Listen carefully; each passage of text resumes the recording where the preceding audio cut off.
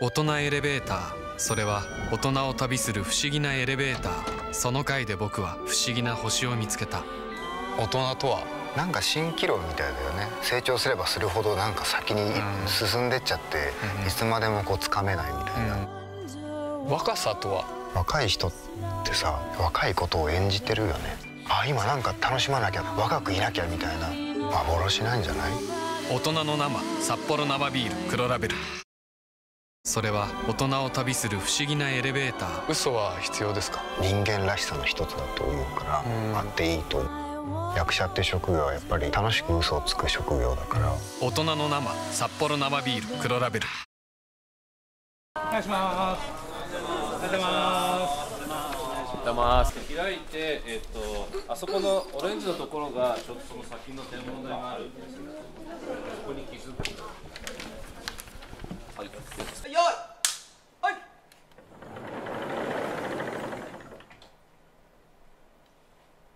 だ始まります。オッケーですはい、いただきました。ありがとうございます。よいまたはいはいカットよいはいはい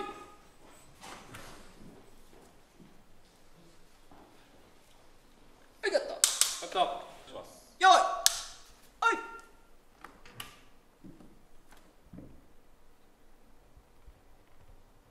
カットカット。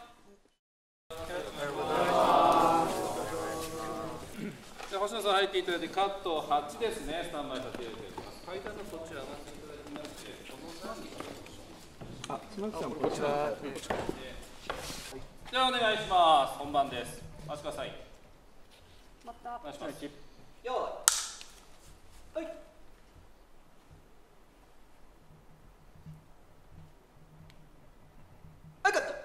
い OK です。はいいただきました。じゃあこのまま。よいよろしくお願いします。お願いします。じゃあ早速、テーマである大人とは、あやっぱりいきなりそれなんですそうですね。ええー、大人とは何でしょう奇跡って信じる？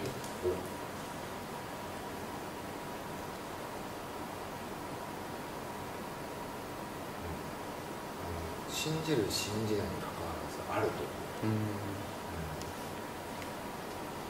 奇跡的なことが毎日起こっている気がするうん。なんかさ不幸せじゃないとクリエイティブなものは作れないんじゃないかっていう幻想ってなんかあるいやーなるほど。でそのそれこそ20代の若い頃とかは、ん。なんかそういう幻想を自分に持っててうん。だからなんかそういうの憧れうん。てひねくれた方がいいんじゃないかって思ってたんだけど全然違うなって思って。すっごく幸せな状況でもハングリーでクリエイティブなものを作り出せるのがプロフェッショナルだなって思うなんかいいこと言ったから今のカットで。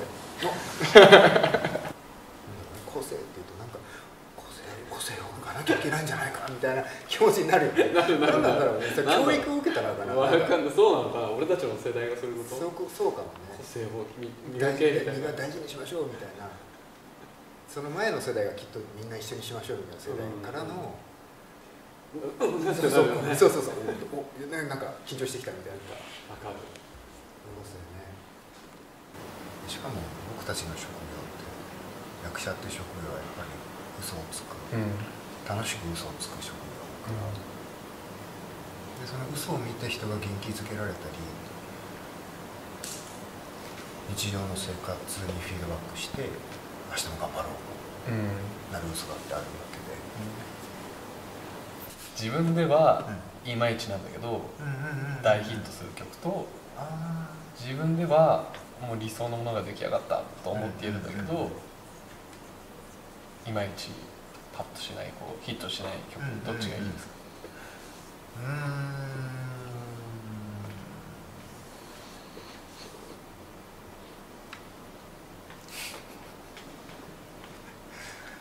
どっちも嫌だな。そりゃそうだよね。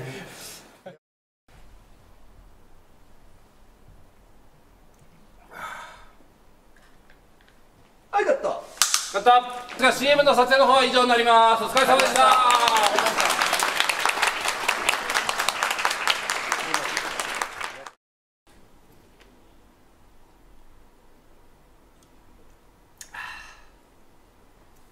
はいカットカットは OK です。い、はい、よろしいです。はい、じゃあ、お見いただきましょう。本日撮影以上になります。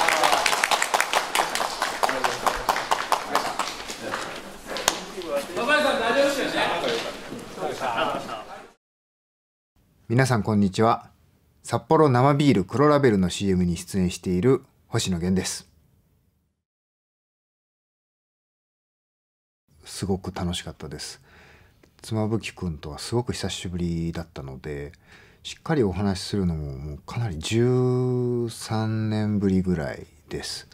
ですごくたまに仕事場ですれ違ったりする時はあったんですけどちゃんと話すのが久しぶりでなんかあんまり撮影っていうのをこう忘れてしばらく喋っちゃってましたその妻夫木くんがそのあの今のねご自身の家庭の話をした時にすごく感動しました。なんかすごく本当に生活っていうものを大事にしてるんだなと思って。あと妻夫木くんがちゃんと自分の言葉で喋ってるんだなっていうのはすごく印象的でした。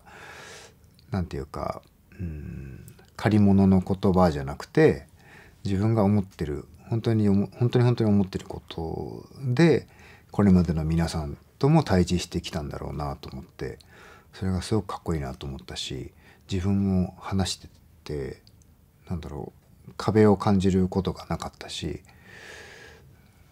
うん、なんか本当ただただ楽しかったです。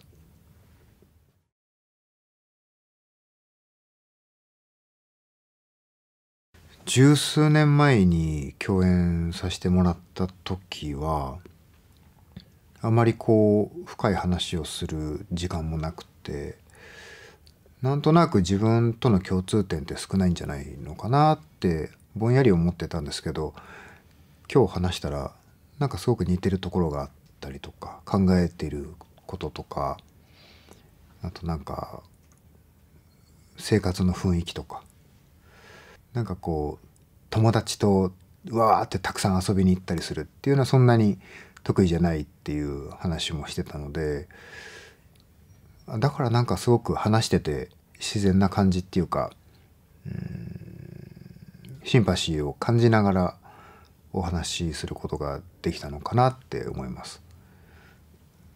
なんかやっぱりその若い時からずっとなんだろうな有名な人だからどんな感じなのかなってこう思ってたんですけどなんかすごくやっぱり改めて素敵な人だなって思いました。皆さんこんにちは。札幌生ビール黒ラベルの CM に出演しています妻夫木聡です。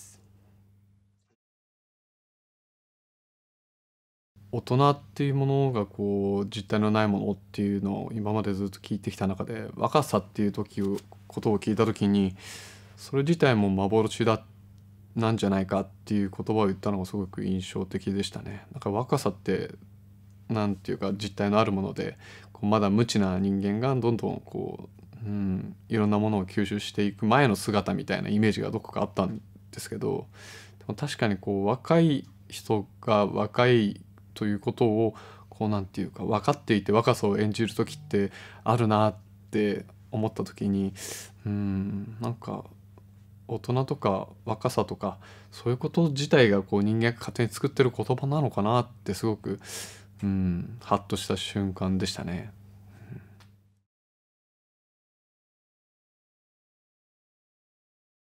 うんそうですねまあやっぱ同年齢っていうのが同い年っていうのはすごく 話しやすいっていうのはすごくありましたよね。今まで。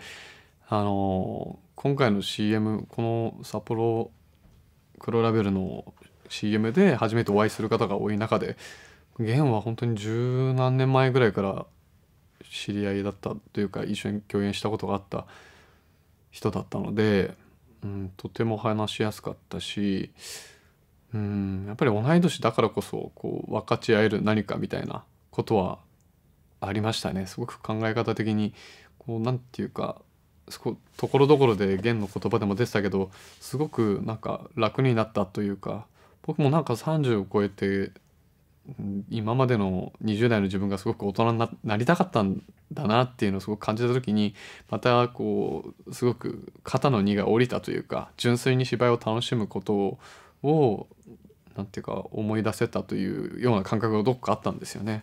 なんかその感じとちょっと弦も似てるのかなっていうのがあって、うん、とにかく今を楽しむことを大事にしてるのかなっていうのが僕自身ちょっともう共感できる部分だったのでそういうところですかね。